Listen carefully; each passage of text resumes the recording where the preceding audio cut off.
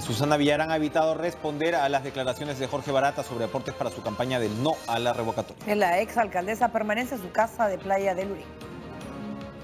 Ante los fiscales peruanos, Jorge Barata afirmó que el exgerente municipal José Miguel Castro le pidió 3 millones de dólares para la campaña del no a la revocatoria, según informa la jefa de la unidad de investigación del diario El Comercio, Graciela Villasís.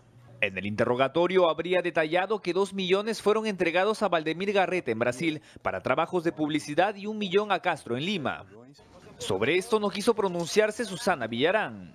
La exalcaldesa continúa en su casa de la playa Arica, en Lurín. Ella se disculpó con la prensa ubicada en los exteriores de su vivienda por no declarar.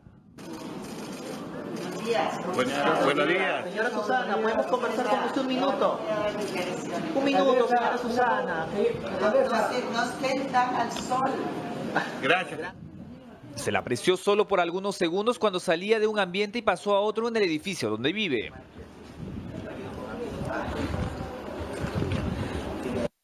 Jorge Barata afirmó que la empresa brasileña hizo aportes a la campaña del no a la revocatoria en el 2013 y que Villarán lo llamó para agradecer. La ex autoridad de DIL tiene comparecencia con restricciones además de impedimento de salida del país. Según su defensa, esta no podría variar a prisión preventiva.